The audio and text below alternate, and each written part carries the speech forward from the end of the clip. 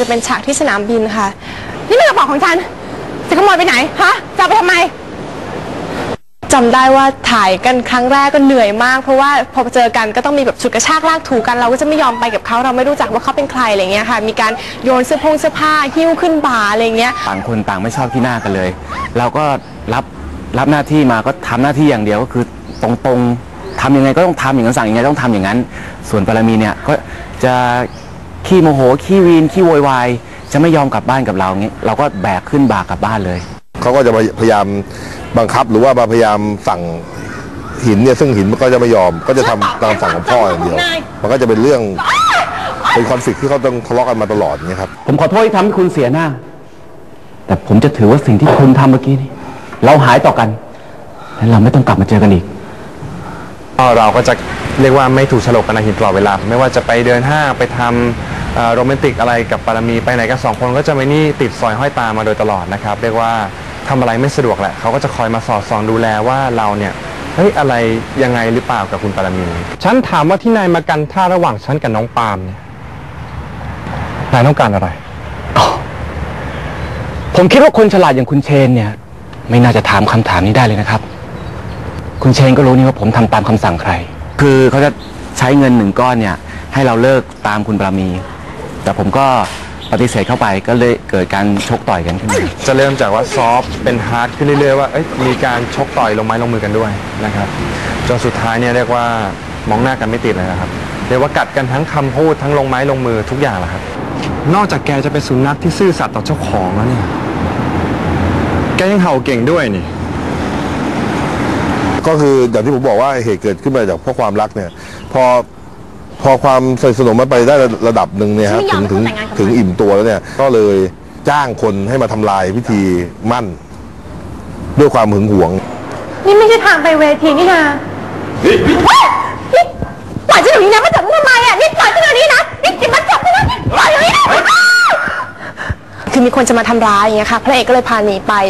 หลังจากนั้นชีวิตก็พกผกผันอย่างรุนแรง จากแต่งตัวสวยๆอยู่ดีๆ ก็กลายมาเป็นแบบสาวชาวบ้านอะไรอย่างเงี้ยค่ะ ฮะให้ฉันทำแบบเนี้ยนะ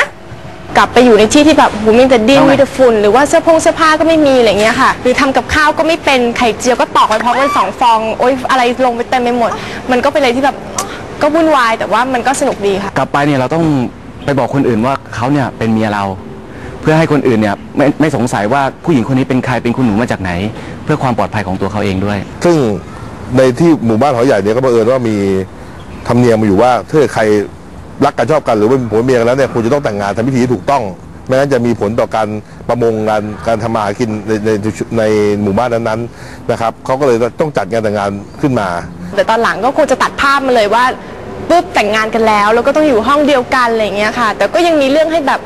ไม่เข้าใจทะเลาะกันอยู่แต่ว่าในใจลึกๆของของปารามีเนี่ยเริ่มเริ่มชอบในหินแล้ว เป็นห่วงนี่จะบ้าฉัน เราเนี่ยอให้ตายพระพูดกับเขาว่าฉันชอบเราไม่เคยคิดไม่ดีไม่ร้ายกับเขาเลย ถ้า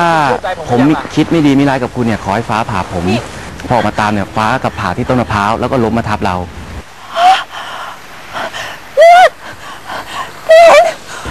ก็เลยเป็นฉากที่ปารามีต้องมาทำแผลให้เรา แล้วก็เกิดกุ๊กกิ๊กกุ๊กกิ๊กอะไรกันขึ้น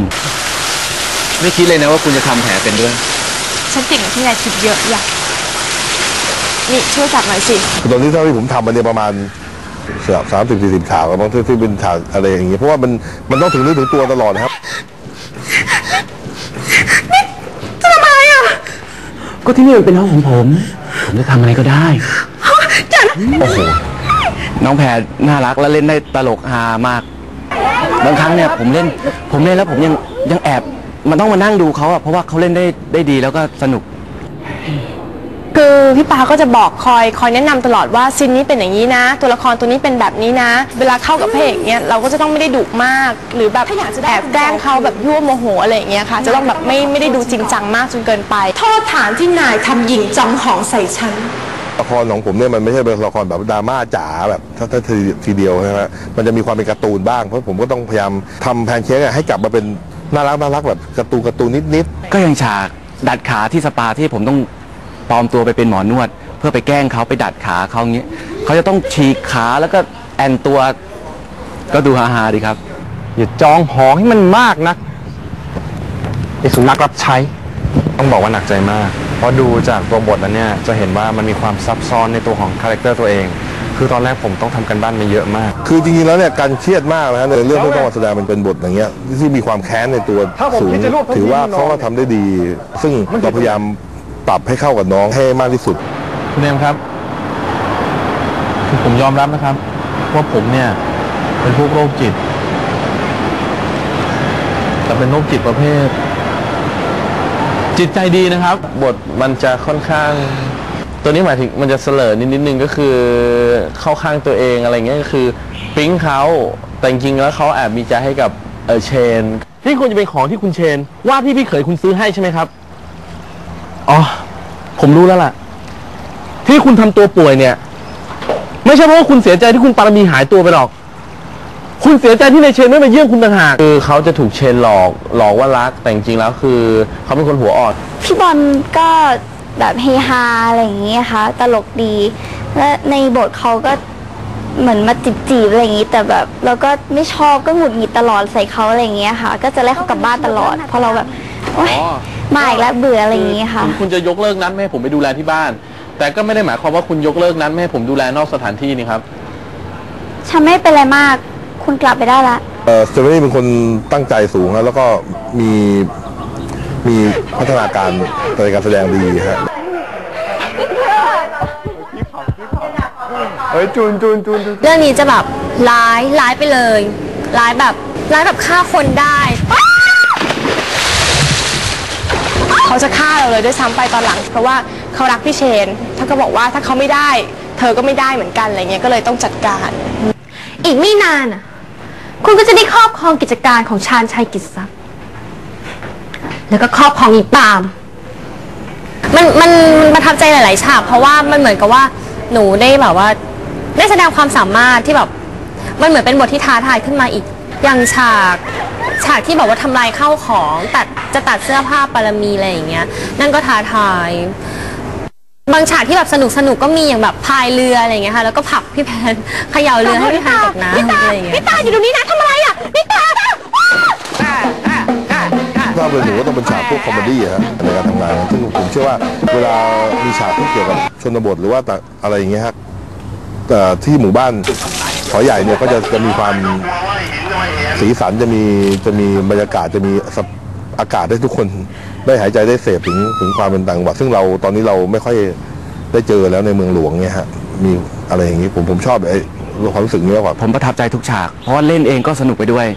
แต่ถ้าเป็นฉากประทับใจก็น่าจะเป็นฉากที่ฝนตกแล้วเราต้องออกไปตากน้ำฝนกันแล้วต้นมะพร้าวต้องหล่นมาทับตัวนะครับ นิ่งคัดน้ำไปหัวหน้าไป็นไหัวหน้าหัวหน้า ก็เยอะคือแบบเป็นฉากแบบเปิ่นๆมากกว่าอะไรเงี้ยค่ะ อย่างเช่นไปตลาดจะไปซื้อก๋วยเตี๋ยวกิน พอเขามาเอ่อไม่มีเงินจ่ายอะไรเงี้ยค่ะเขาก็ว่าตอนหลังจะไปสมัครงานล้างจาน ก็ทนไม่ได้อีกวีแตกเงี้ยค่ะ ก็ไม่ล้างอีก ก็เลยคิดว่าเออจะไปหางานทำนะ ก็เลยจะไปแกะหอย แต่ก็แกะตั้งแต่หอยดีดกระเด็นวุ่นวายเละเทะอะไรเงี้ยค่ะ ประทับใจมากที่สุดก็คือ เป็นฉากที่ผมไปไปถ่ายที่สะพานพระรามสี่นะครับ เป็นฉากที่ผมไปช่วยน้องเขาจากการจะฆ่าตัวตาย ก็คือวันนั้นเลิกประมาณตีสองตีสามคุณเอมคุณทำบ้าอะไรของคุณเนี่ยทำไมไม่นึกถึงคนที่เขารักคุณบ้าง ที่ประทับใจที่สุดเหรอ หลายฉากนะไม่ว่าจะเป็นฉากที่เอ่อเข้าร่วมกับนักแสดงเยอะๆ เพราะว่าอย่างผมอย่างที่บอกขึ้นใหม่ว่าพอพ อเราเข้ากับนักแสดงเยอะๆ และที่เก่งๆ เราจะได้อะไรกับเขา โดยที่เขาไม่ต้องสอนนะครับ เรียกก็เหมือนว่าแบบซึมซับมาเอง